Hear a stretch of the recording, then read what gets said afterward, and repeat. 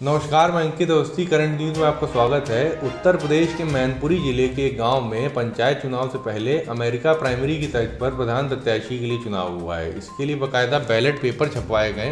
ग्रामीणों ने मतदान किया। गाँव के एक मंदिर परिसर में सोमवार को प्रधान प्रत्याशी के लिए आंतरिक चुनाव सम्पन्न हुआ। इस चुनाव में जीतने वाला प्रधानी का चुनाव लड़ेगा। विकासखंड सुल्तानगंज के गाँव औरंद में ग्रामीणों ने सोमवार को प्रधान प्रत्याशी के लिए चुनाव कराया। दरअसल ग्राम पंचायत औरंद के बुज़ुर्गों का कहना है कि कई प्रत्याशी चुनाव मैदान में उतरेंगे तो सभी जीत नहीं पाएँगे। इसे लेकर आपस में रंजिश ज़रूर हो जाएगी। ऐसे में लंबे मंथन के बाद ग्रामीणों ने प्रत्याशी चयन के लिए मतदान कराने का निर्णय लिया। आंतरिक चुनाव के लिए बाकायदा तीन प्रत्याशियों के फ़ोटो युक्त मतपत्र छपवाए गए।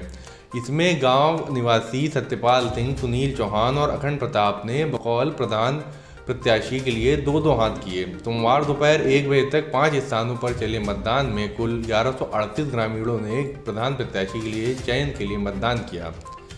शाम तक गाँव स्थित मंदिर पर वोटों की गिनती की गई। इसमें अखंड प्रताप को 724, सत्यपाल को तीन सौ चौरासी और सुनील चौहान को केवल 30 मत प्राप्त हुए। इसके बाद गाँव के बुज़ुर्गों ने अखंड प्रताप को प्रधान प्रत्याशी चुने जाने का निर्णय लिया। गाँव के बुज़ुर्गों ने कहा कि चुनाव नतीजे के विरुद्ध अगर कोई प्रधानी चुनाव लड़ता है तो इसका बहिष्कार किया जाएगा। अमेरिका में राष्ट्रपति चुनाव के पहले राजनीतिक दल अपने स्तर पर दल का प्रतिनिधि चुनते हैं।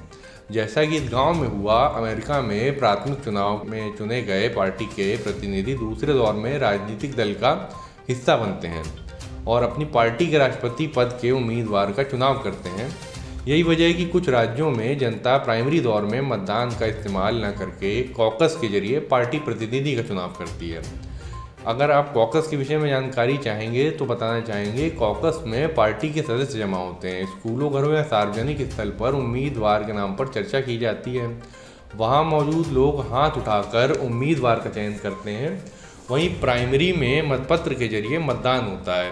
हर राज्य के नियमों के हिसाब से अलग अलग तरह के प्राइमरी होते हैं। और कॉकस प्रक्रिया भी हर राज्य के कानून के हिसाब से अलग अलग होती है।